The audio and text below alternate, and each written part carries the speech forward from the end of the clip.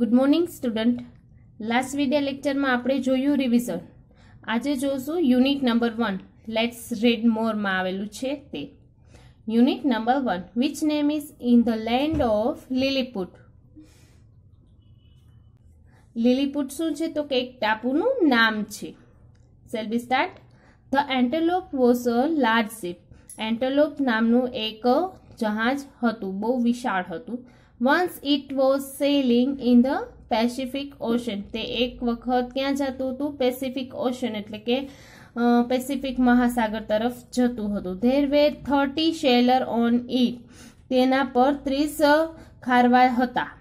Beside the sailor there were captain and doctor name Gulliver ખારવાઓ ઉપરાંત એક કપ્તાન હતો તેમાં અને ગુલવીર નામનો એક કોણ હતો? ડોક્ટર હતું. In the beginning the sailing was smooth શરૂઆતમાં નિર્વિઘ્ન જઈ રહ્યું હતું. But then there arose a storm in the sea પણ પછી દરિયામાં તોફાન શરૂ થઈ ગયું. There was strong wind and heavy rain અને જોરથી શું પવન ફૂંકાવા લાગ્યો અને ભારે વરસાદ પણ ચાલુ થઈ ગયો. સેલિંગ બીકમ ડિફિકલ્ટ અને વાહન ચલાવવું ખૂબ જ મુશ્કેલ થઈ ગયું. The ship began to drift then suddenly it hit against a rock and broke to piece અને પછી તે એક ટાપુના કિનારે ખડક સાથે ભટકાઈ ગયું. અને પછી તે એક ખડક સાથે અથડાયું અને તેના ટુકડા થઈ ગયા.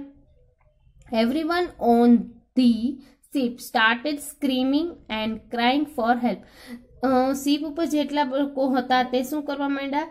ચીસો પાડવા માંડ્યા, મદદ માટે બોલાવવા માંડ્યા. They tried to swim to the shore, but only Gulwith reached the shore. એટલે શું થયું? તો કે તેમણે કિનારા તરફ તરવાનો પ્રયત્ન કર્યો, પણ ફક્ત ગુલીવર જ કિનારા પર પહોંચ્યો. It was the shore of an island તે એક ટાપુ હતો, ટાપુનો કિનારો હતો. તેનું નામ શું હતું? The name of the island was Lilliput અને તેનું નામ શું હતું? લીલીપુટ હતું. Gulliver walk some distance but he was very tired Gulliver થોડું ચાલ્યો અને તે ખૂબ જ થાકી ગયો હતો. He fell asleep on the grass અને પછી તે ક્યાં ઘાસ ઉપર સૂઈ ગયો. He woke up the next morning અને તે સવારના ઉઠે છે બીજા દિવસે અને ઉઠવાનો પ્રયત્ન કરે છે. But getting up was not possible પણ ઉઠવાનું શક્ય ન હતું. His hand and legs were tied એના હાથ અને પગ જ બાંધેલા હતા. Gulliver felt something walking on his body અને તેને શું અનુભવ થતું હતું કે શરીર પર કંઈક ચાલતું હોય તેવું લાગતું હતું? It was a tiny man ત્યાં એક નાનો માણસ હતો. ટીની એટલે શું થશે? નાનો. ઓનલી ફિફ્ટીન સેન્ટીમીટર ટોલ અને તે એક નાનકડો માણસ હતો. ફક્ત પંદર સેન્ટીમીટર ઊંચો હતો. Soon there were several men on his body તો થોડી જ વારમાં તેના શરીર પર ઘણા બધા માણસો હતા. There were all very tiny અને બધા લોકો નાના હતા, ખૂબ જ નાના હતા.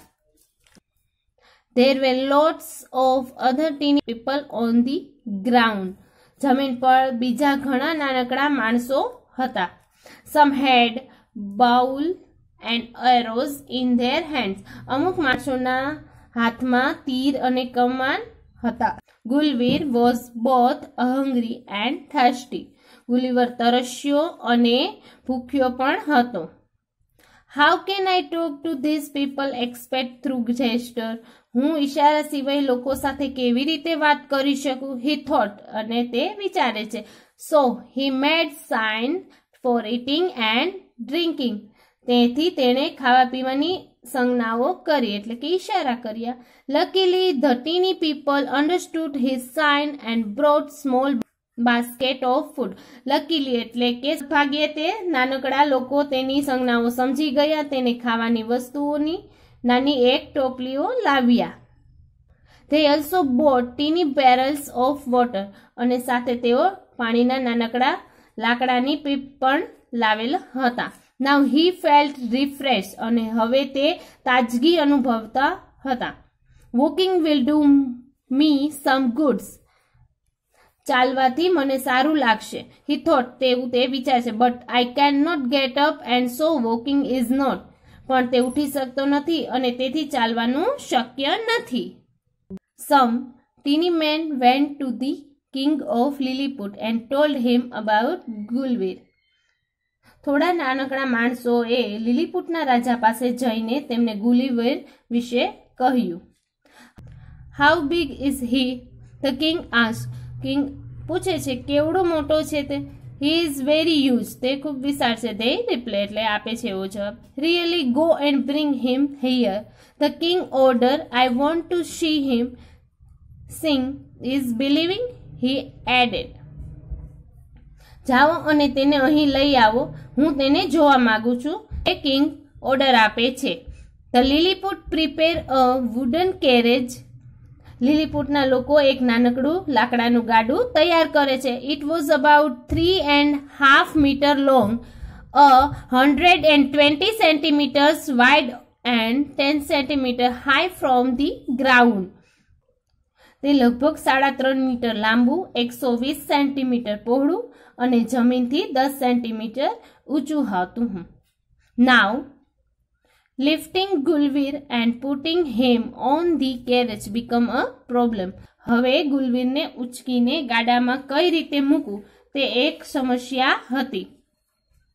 With great difficult they solve it ખૂબ મહેનત બાદ તેઓ સમસ્યાઓને ઉકેલ લાવ્યા.